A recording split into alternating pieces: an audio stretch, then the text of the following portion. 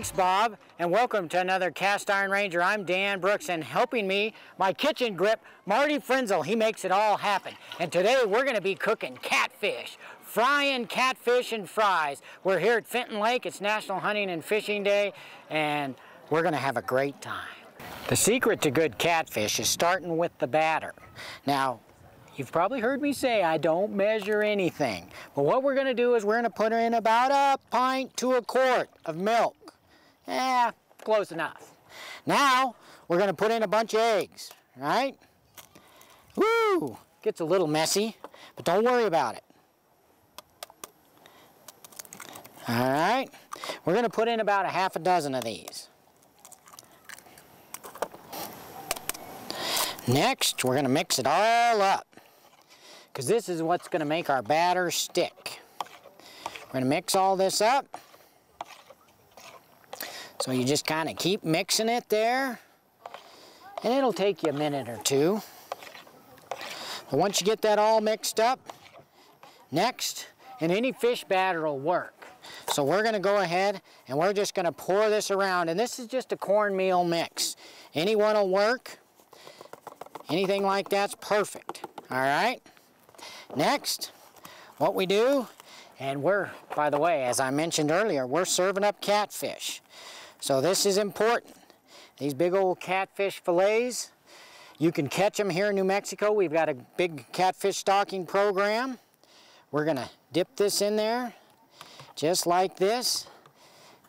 Then our next step is right here, and we're gonna move this around in the batter. Let me just move it around. Oh, look at that, hmm?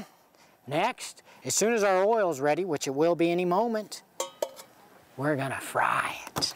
Now checking the fryers, I got them right about 300 degrees, which is perfect. Now this one here, I'm gonna use for fries, and I've been cutting potatoes all day. No, not really. Uh, when you're out in the woods, I do it the easy way.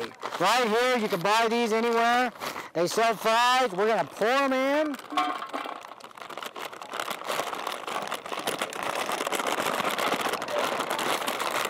Woo! Look at that. Okay. I might have went just a little overboard, but I do things big. Ready? We're to dump these down in. Oh! Look at that. There we go. All right, we got the fries in. They're good to go. They're coming along nicely. Now it's also time to put in our catfish. I'm looking down, these are at about 350, that's perfect. Let me just go ahead and put a few in here.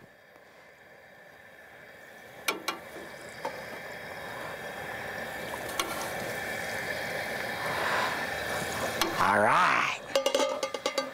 Now these are ready to go in.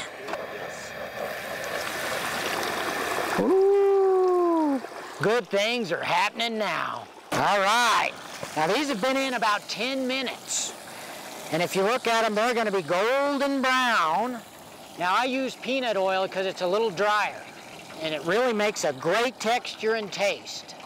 So let's go ahead and put these out. Here we go. Right there, look at those. Mm -hmm.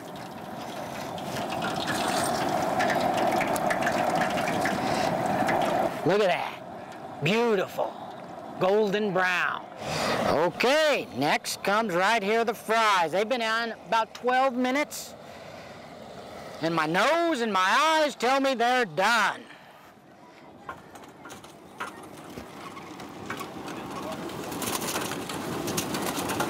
Look at that. Now that's a wad of fries. Now what I'm gonna do right here Gonna get me a, woo, look how tender that is. It's coming apart. Get me a little basket. Fish and fries. Look at that. Now, woo, you can't beat that. That is falling apart right here as we speak. Look at that. Little tartar sauce.